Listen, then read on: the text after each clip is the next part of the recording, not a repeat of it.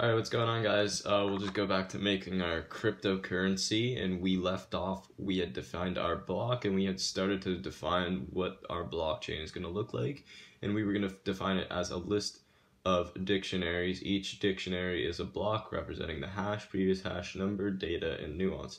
And I was just cleaning up our code before and I'm just gonna continue to clean it up here because it's this is still another long line of code right here.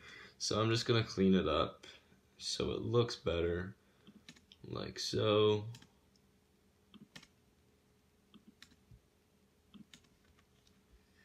And that's much better.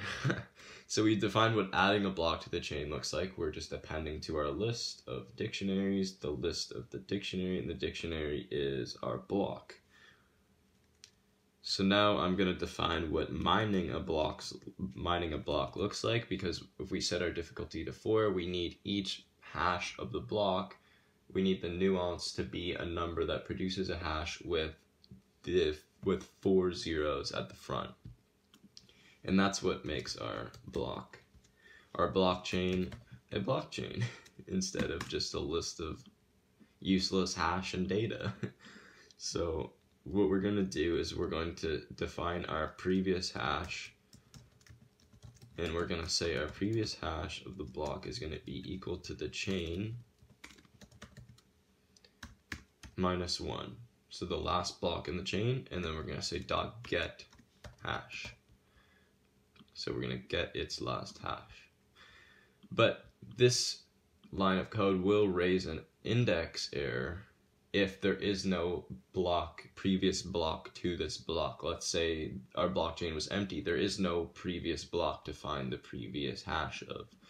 So what I'm going to say is I'm going to try to set up our block's previous hash to the last block in the chain's hash, but we're going to accept an index error and we're just going to pass because we already defined our block our previous hash equal to 64 zeros and it should uh, just default to that if we don't define it as the previous block's hash.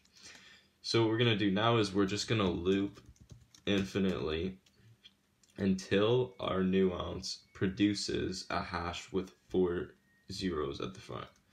So we're going to say if block.hash, and that's going to find the hash of our block, and the first four characters of it. This is what that's going to do. And we're going to check if that's equal to 0 times difficulty. So in this case, the first four characters of our block hash are equal to 4,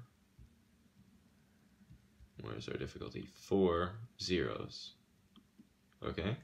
And if it is, we're going to add that block to the chain and then we're going to break out of our loop. Um, otherwise, we're going to increment the block nonce by one. And that should be it. So now we're just going to test our code. We're going to create an instance of our blockchain by defining it like this. There we are. And then let's just make some data. So let's say we want a block that has hello in it, or hello world. And we want a block that has what's up. And we want a block that says, that has some data like hello. and another block bye. Okay, so we have four um, things of data we want to add to our block and let's make four separate blocks with each one of the data. The first block will have hello world, second what's up, hello, and bye. So for data in database, we're just testing our code here. Um, and, and let's create a block number for each one of them too. So we're going to increment that block number by one and then we're gonna blockchain dot mine, and then we're gonna create an instance of the block, and we're gonna use that data and num. Okay, so what this is gonna do is we've created an instance of our blockchain, we've defined some data we've added to the chain. So here, for the first time we go through, we're gonna go hello world, we're gonna add hello world, and we're to add that as block number one. The second time, we're going to go to what's up, we're going to add the data as what's up, and then that's going to increment to block number two, and so on. So now this should create a blockchain, and what I'm going to do now is I could say print blockchain dot chain, but uh, this is going to be a really long chain, and it's not going to be very readable, so what I'm going to do is I'm just going to say for block in blockchain dot chain print block. Okay, so let's test our code now. Difficulty is not defined. Ah, self dot difficulty. And there we are. Let's just look at what our output is and make sure it's all good. So our first block here, okay, so our first block had a hash and of 00C1296 blah blah blah, but it did have four zeros at the front and that's what we were aiming for. So let's test it now, see if difficulty is 5, run it again, and see if we have 5 zeros at the front. It's going to take longer because it's harder to mine a block with 5 zeros than 4 zeros. Higher the difficulty, the higher the difficulty. so let's just wait here.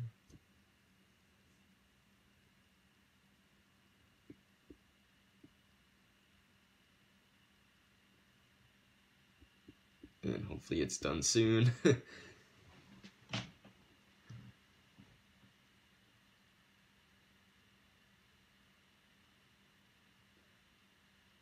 My fan is going crazy right now. Alright.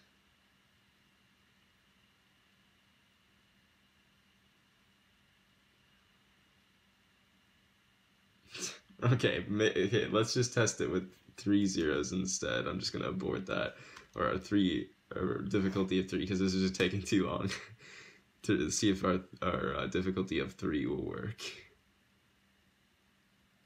Oh, oh, um, oh, I know why it didn't work.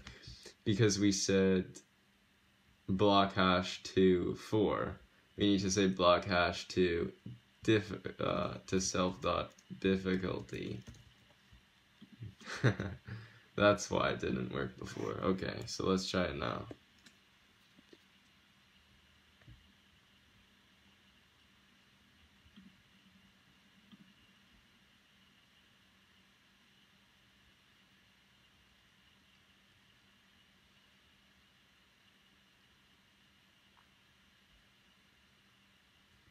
It's gonna take too long. I'm gonna, oh my gosh, I'm gonna just try it with our difficulty of three. There we are.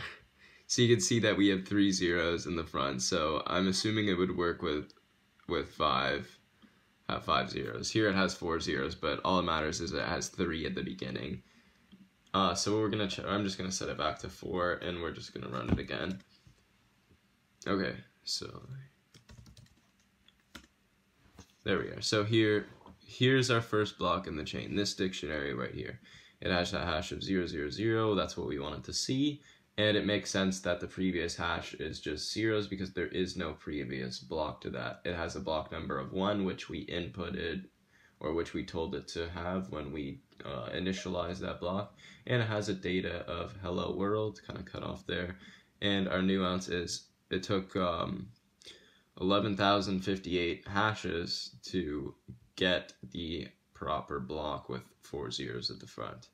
Our next block has a hash of 003, well, that's what we want to see, and its previous hash should be the same as the hash of this block, and it looks like it is. Our data says what's up, and our nonce is 51,000, that's good. Our next block, hash looks good, previous hash mass matches the hash of the last block.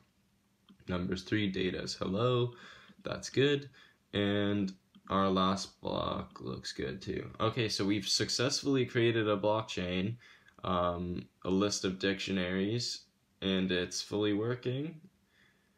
So that's great. In the next video, we'll look at uh, starting to make it a cryptocurrency and implementing our data as transactions and then starting our actual web application. Well, thanks for watching, guys. I'll see you in the next video.